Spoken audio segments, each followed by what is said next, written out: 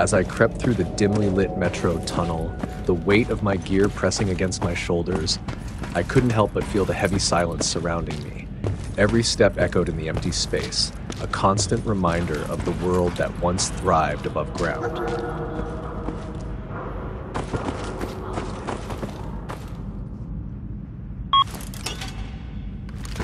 My black combat gear hugged my body snugly, the assault rifle and pistol strapped securely to my sides.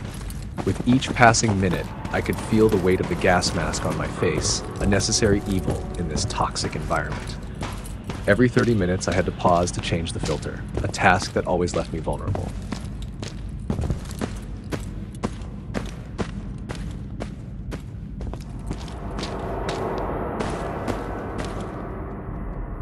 My heart skipped a beat when I spotted a mine lying in our path. With no other choice, I raised my assault rifle and took aim, the sound of gunfire shattering the eerie silence.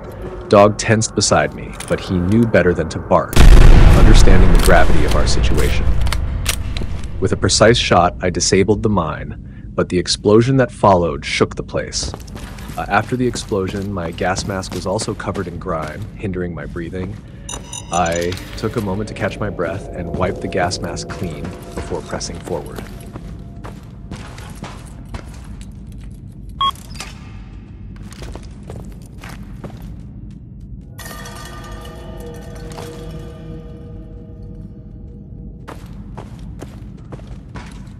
I carefully disarmed the bombs, my hands steady despite the tension in the air. Dog stood guard, his watchful gaze ensuring our safety as I worked.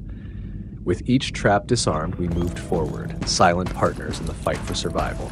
Dog sniffed the air, his ears perked up in alertness. He nudged my leg, a silent warning of danger ahead. Together, we approached a tripwire, its thin thread barely visible in the dim light. Soon as we disabled the trap, we climbed into the carriage to loot it. Dog sniffed around, his tail wagging in excitement as he picked up the scent of something promising. Together, we looted the wreckage, uncovering a cache of canned food and clean water.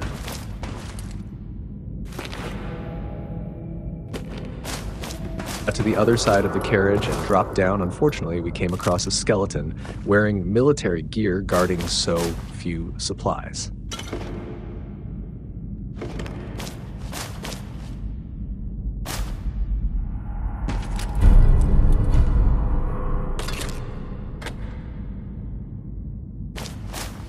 After looting the supplies around the skeleton, we realized we had hit a dead end.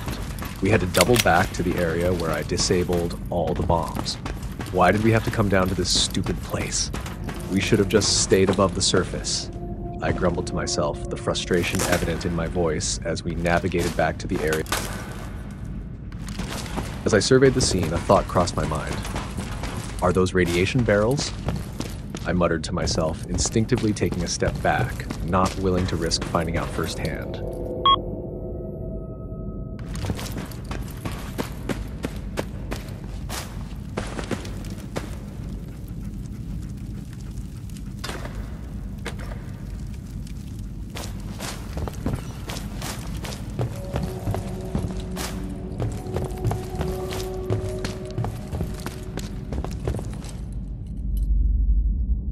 Dog's growl grew low and menacing as we approached a door, his instincts on high alert. As I got closer, I could hear voices on the other side, murmuring in hushed tones. We exchanged a glance, both knowing that danger lurked beyond that threshold. We were met with the sight of a group of armed men, their expressions a mix of surprise and oh. confusion as they stared back business. at us.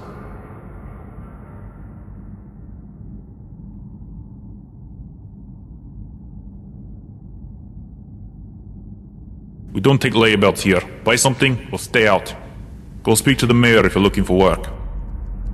The guard directed me to the appropriate individual within their group yeah. who could provide uh, further details and assistance regarding work opportunities. I made my way towards the designated individual who could offer job opportunities. I couldn't help but take in the sights of the underground base. It was unlike anything I had ever seen before. What is it? Welcome to our little independent station. It's the only true safe place left in the metro. We have a few shops around, plus Vladimir and Rakimanov's bar if few. But don't go causing trouble, cause I'll have you thrown in prison. Or shot. Depends how I'm feeling. You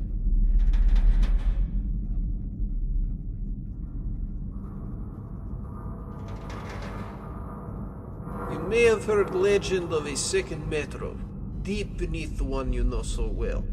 Running here, we have access to that legend. Our scavengers, the stalkers, head down there and bring back all types of artifacts and supplies that we either use ourselves or sell. From what the stalkers have seen, it appears that the deep metro is the remains of a weapons research facility from before the war, a D6. We could always do with more stalkers if you're willing to lend a hand.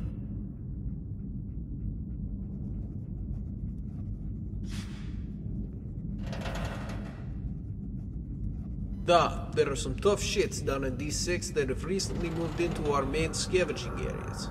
They're killing all of our stalkers and stopping us from getting the supplies we need. We could really do with the bastards being taken out. And you look like the suicidal type. If you can take them all out, I will reward you handsomely. If you want to help, talk to Sergei and he will gear you up for the work. Tell him I sent you. To my surprise, it became apparent that the person I had spoken with for work was actually the leader of this underground base.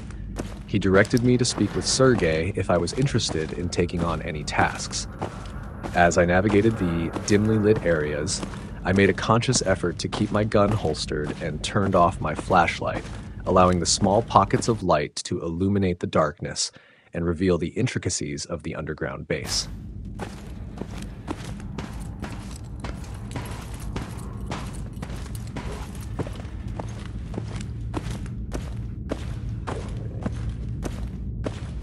What's this? A new face?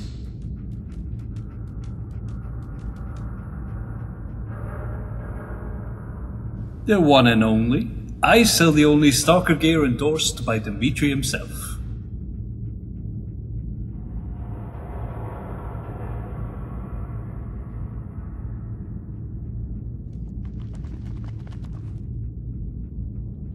Haha, good one. Well, if you're going to head down there, you're going to need this key. I've got all the supplies you'll need. No refunds.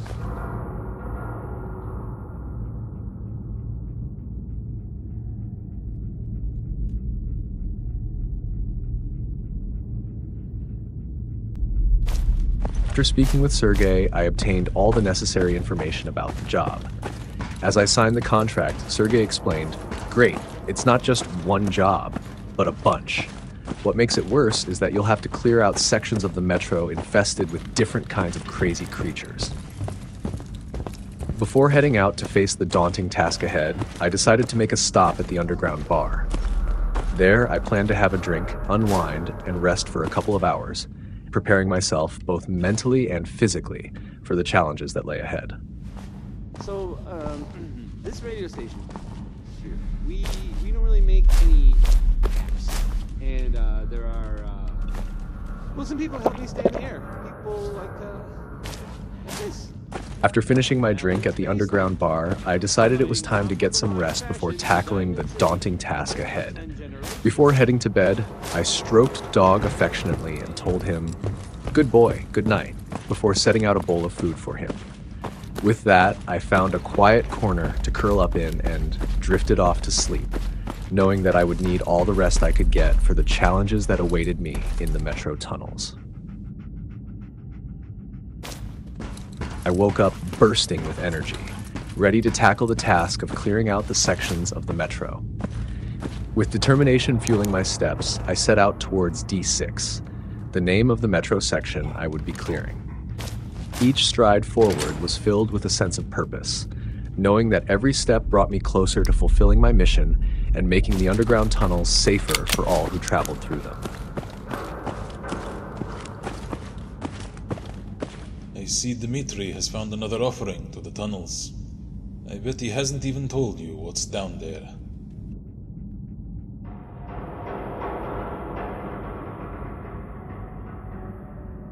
Some new phenomenon within the tunnels, the likes of which are not seen on the surface. Should you or any other living thing stray into one of these phenomenon, they would be lucky to escape with their lives. Sounds wicked, yes? But you know, it's not any more evil than, say, fire. The stalkers who live the longest know safe paths through the phenomenon. Some of them may even have been marked out. The most interesting thing about the phenomenon is that some of them form artifacts, objects with strange properties and high price tags.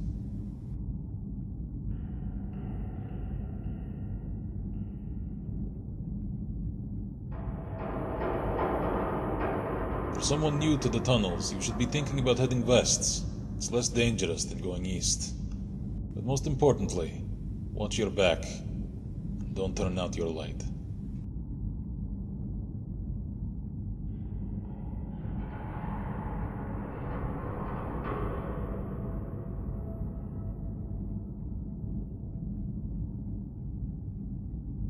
It is only busy with the dead. Unexpectedly, I bumped into another person in the dimly lit tunnels. He had a weathered look about him, and his eyes held a mix of caution and wariness. He explained to me the dangers lurking below and that I wasn't the first person to be sent to clear the metro. With a knowing glance, he looked at me and said, You won't be the last. Good luck. His words hung in the air, a sobering reminder of the perilous task we both faced in the depths of the underground. The elevator doors opened to reveal another decent sized area adorned with a couple of man made wooden buildings. Taking in my surroundings, I noticed the faint hum of activity echoing through the space. With determination in my stride, I made my way towards the left side tunnel door. Gripping the handle firmly, I pushed it open and proceeded down the tunnel, the darkness swallowing me whole as I ventured deeper into the unknown.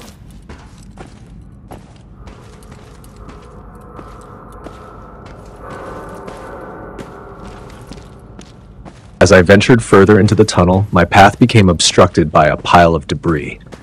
With agile movements, I climbed up onto the pile, scanning the darkness for any signs of danger. It was then that I noticed something glowing faintly in the dark.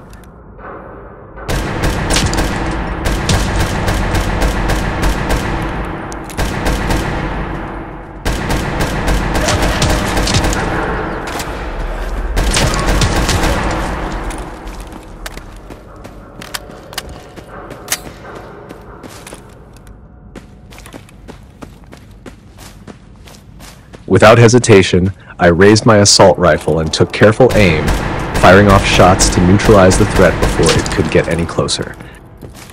Glowing, mutated, radiated dogs. One of them managed to get dangerously close, but I acted quickly, taking aim and firing off shots to defend myself. However, in the chaos of the moment, I felt a searing pain as one of the creatures managed to inflict an injury. As I dealt with the immediate threat, I noticed blood splattering on my gas mask, obscuring my vision. With a sense of urgency, I quickly cleaned the blood off my mask to ensure that I could see clearly and continue navigating the treacherous tunnels safely. I then healed my injuries as best as I could, taking a moment to tend to the wounds before continuing my journey. With each step forward, I braced myself for the possibility of encountering more mutated dogs lurking in the darkness ahead.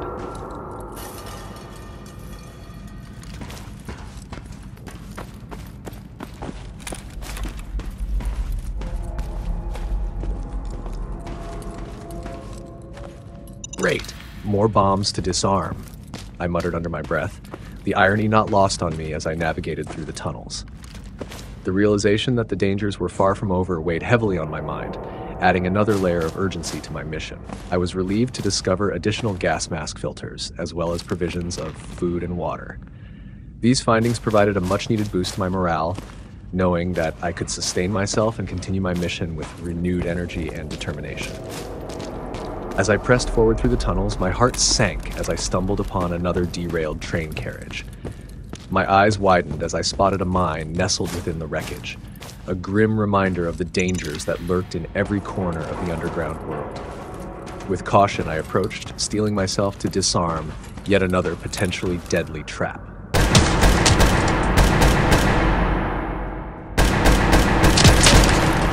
More mutated dogs emerge from the darkness, their glowing eyes fixated on me with predatory intent. With swift and precise movements, I raised my weapon and unleashed a barrage of gunfire, determined to eliminate the threat before it could get any closer. Despite the overwhelming odds, I managed to kill them all just in time, breathing a sigh of relief as the echoes of the gunfire faded into the silence of the tunnels.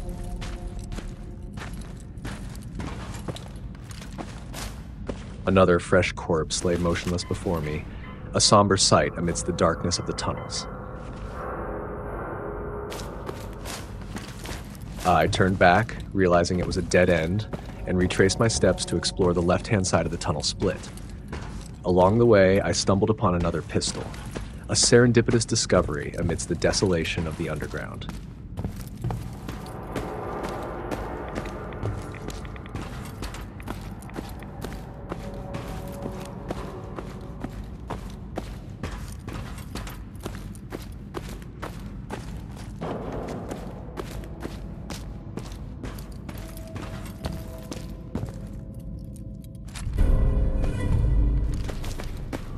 As I made my way towards the left split, the sound of chatter reached my ears, causing me to proceed with caution. The voices sounded familiar, belonging to the notorious raider gang known as the Tunnel Sweepers. I had once thought they were nothing more than a myth, but now I knew the truth. Uh, with my senses heightened, I opened fire on them, taking aim and picking them off one by one.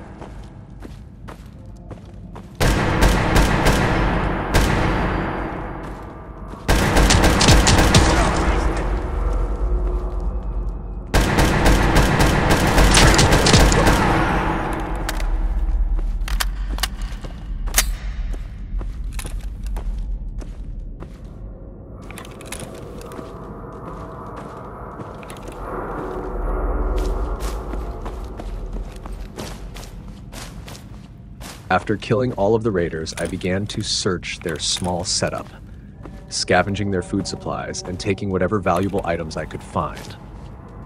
Once I had gathered what I needed, exhaustion washed over me like a tidal wave. I stumbled over to the fire pot in the middle of the room, cooked some food, and then collapsed into a restless sleep, the events of the day weighing heavily on my mind.